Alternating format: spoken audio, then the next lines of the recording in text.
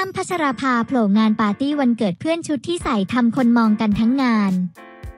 เรียกได้ว่าการเวลาไม่สามารถทำอะไรเธอคนนี้ได้จริง ๆสำหรับนางเอกซุปตาดังเบอร์ต้นของเมืองไทยอ้ำพัชราภาชัยเชื้อปัจจุบันอายุ 45 ปีแล้ว ก็ยังดูดีและมีเสน่ห์เกินต้าน เธอดูแลตัวเองดีมากสมแล้วที่หลายๆ คนยกให้เป็นไอดอลตลอดกาลสาวอ้ำนับวันยิ่งสวยออร่าพุ่งแรงมาก จนไม่อยากละสายตามองเลยทีเดียว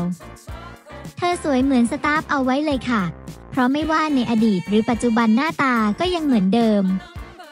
ล่าสุดสาวอ้ำเธอได้ปรากฏตัวที่งานปาร์ตี้วันเกิดเพื่อน ซึ่งงานนี้จัดขึ้นในทีมสีแดง และชุดที่สาวอ้ำใส่นั้นเรียกได้ว่าสวยแซ่บทำคนมองทั้งงาน ชุดนี้มาในรูปแบบดอกกุหลาบสีแดง